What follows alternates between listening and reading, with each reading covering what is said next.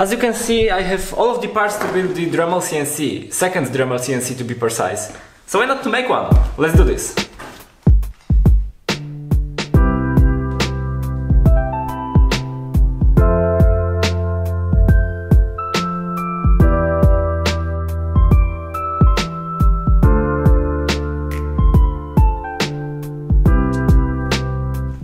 Me why I'm building another Dremel CNC. I already have one, I don't really need one, but there is this spindle that I bought quite a long time ago and I wanted to make a test of it. And I thought it will be way cooler to have two CNC machines, one with Dremel and one with this spindle to really test in depth if this spindle is better than Dremel. It's a little bit more expensive, it's a little bit more powerful, but the biggest advantage of this spindle is this collet. You can mount a lot of different bits. With Dremel you can use only bits with 1 8 of an inch shank. And with this thing you can change the collet and use pretty much everything up to I think 6 millimeters or something like this. In this video I'm not going to make an in-depth test of the spindle, that will be one of my next videos. Because today I wanted to just quickly assemble the CNC and show you the spindle, but I thought that maybe it's a good idea to assemble the CNC again and show you the wool process very precisely. So instead of four videos that I previously made about Dremel CNC, I will make just one and I will connect the frame assembly, electronic assembly, Arduino programming, pretty much everything in one single video to make it easy for you to build your own Dremel CNC. I will also try to explain better things like Arduino programming and electronics connection because a lot of you face problem with that. I already have all of the parts prepared, uh, maybe you need to prepare some of them like for example, those rods, you probably need to cut them. I already bought the proper length of them online, I just found the service that cut them for me, so I don't have to do this. But I had, I had to cut those aluminum profiles. This one is 60 centimeters long, and I also need four of them that are 30 centimeters long, so I just cut two of those in half. And now I have the aluminum profiles already cut. it. And also later I need to cut the lead screws, but I'm not sure about the proper length, so I will measure and cut them later. Once we have all of the parts, we can start assembling the Dremel CNC, the second Dremel CNC. The very first thing to do is to create thread in this hole and hole on the other end. In those short aluminum profiles, in just two of them, we need to create threads with a tap, that's M6 tap. It's also a good idea to pre-drill those holes with 5mm drill bit Uh, and while making a, while making uh, a thread with this tap you should apply a little bit of WD-40 to make it easier.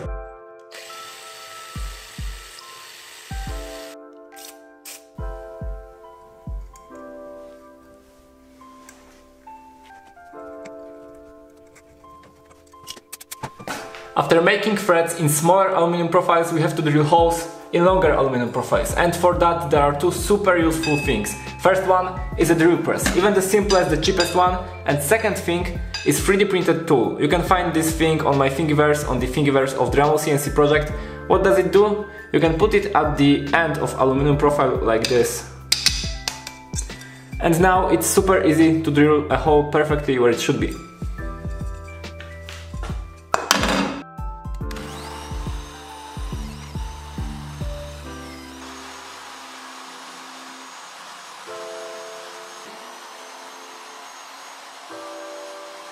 Now we could start assembling the frame, but before assembling the frame I prefer to put all of the bearings inside 3D printed parts and now a few words about 3D printed parts. This hole for the bearing, the diameter of this hole is 21 millimeters. The outside diameter of this bearing is 22 millimeters, so this hole is undersized for this bearing.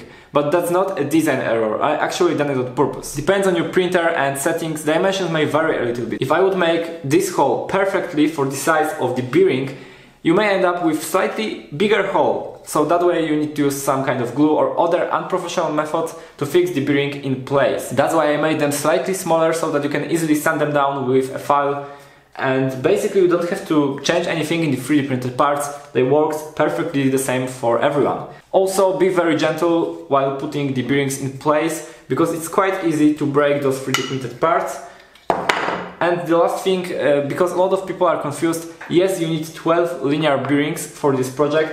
You need two of them for this part, two of them for this part, four for this part, and four for the spindle carriage.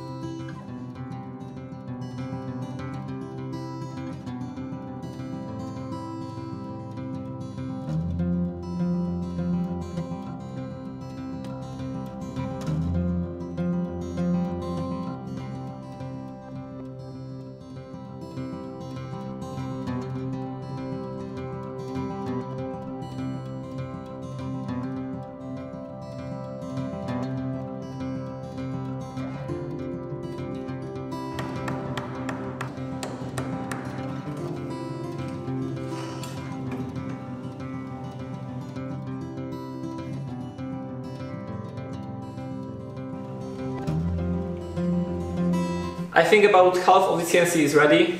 Uh, because I broke the couplers, I had to print them again, and the only color, the only filament that I have right here is black, so those are black right now. And now I need to measure how long the screw for the x-axis should be, because I bought it slightly too long. So I will put it in place and just roughly measure that, okay. You can cut this thing with basically anything, you can use even hand saw, but because this is pretty hard steel, the best way to cut it is to use an angle grinder.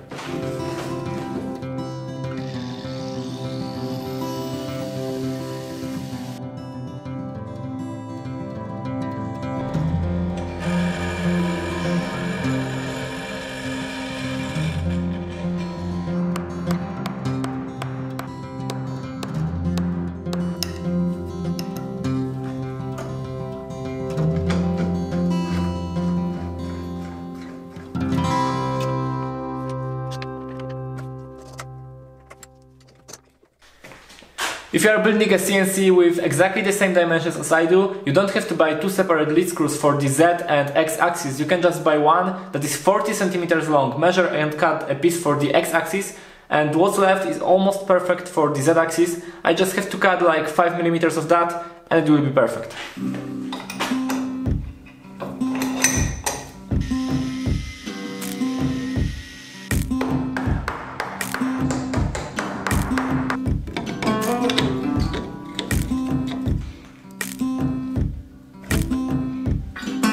As the table of the CNC, I will use again plywood. In the first CNC, I use 10mm thick plywood, and this time I will try with 6mm, that way I will have 4mm more of the workspace on the Z-axis. And to cut this plywood, you can use anything, jigsaw, hand saw, but I will use table saw because it's the easiest thing for me to use.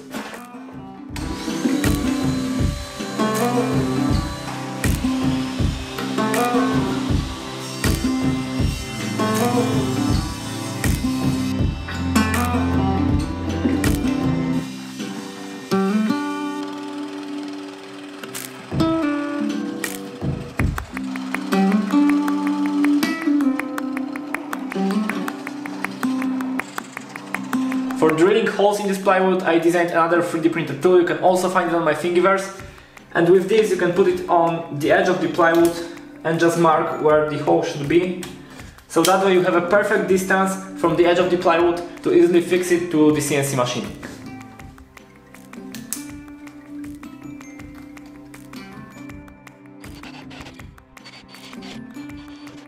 At this point we have to disassemble the front part of the CNC, we have to take out those screws take out this part, put the table in place and assemble that again. I know we could do that before, we could put the table in place before, but I think it's actually easier to do that way.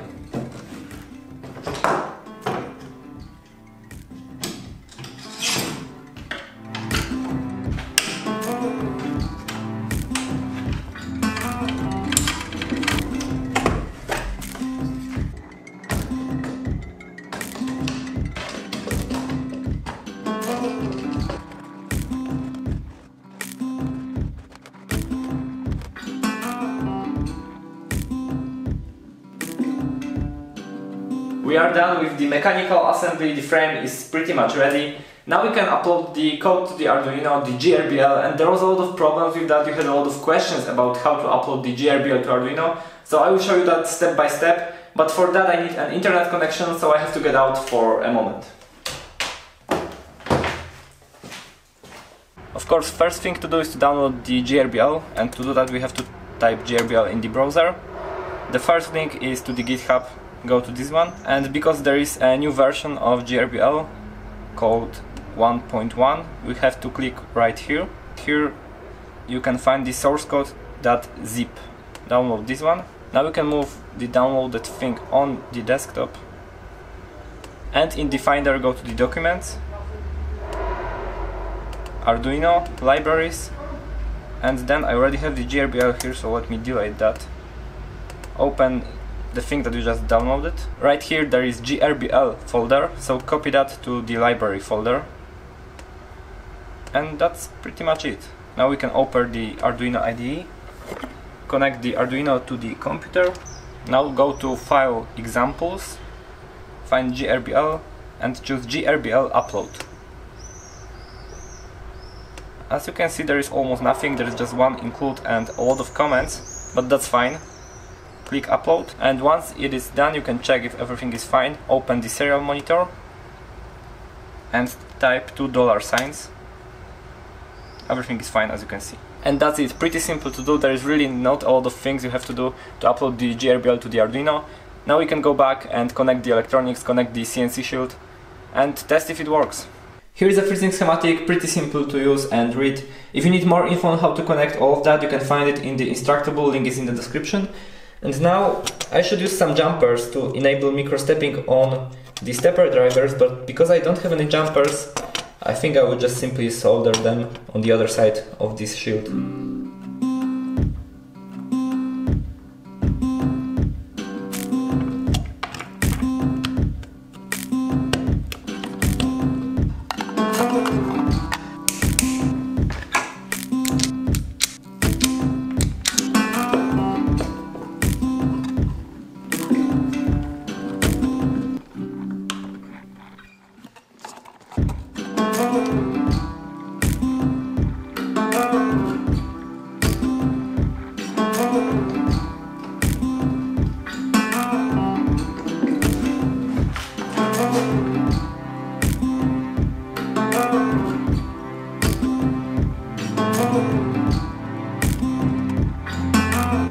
Power supply for this spindle is quite big and bulky, so to mount it, I designed this very simple holder. You can put the power supply like so right here. Here is the place for this potentiometer, it controls the speed of the spindle. And then you can attach this holder to the side of the CNC machine, just like the electronics box.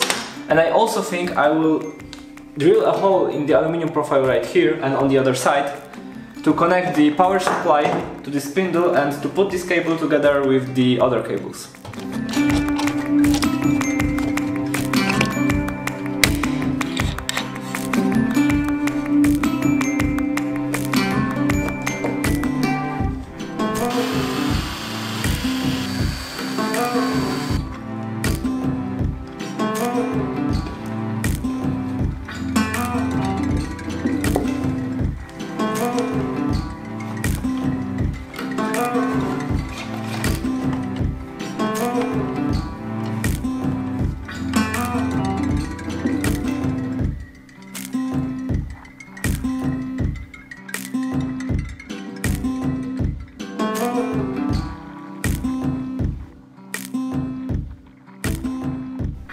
And the little brother of the original Dremel CNC is ready.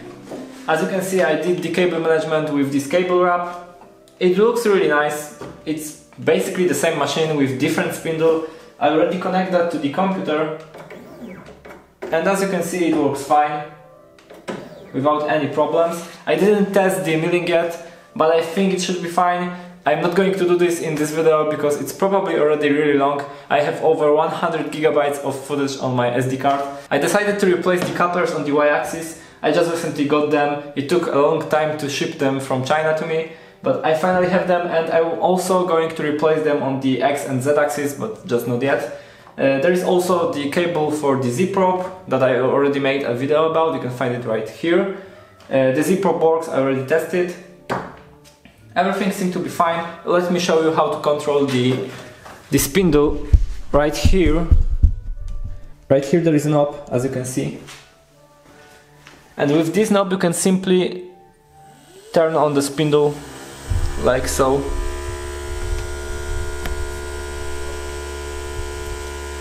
You can increase the RPMs of this motor At max speed this motor is quite loud.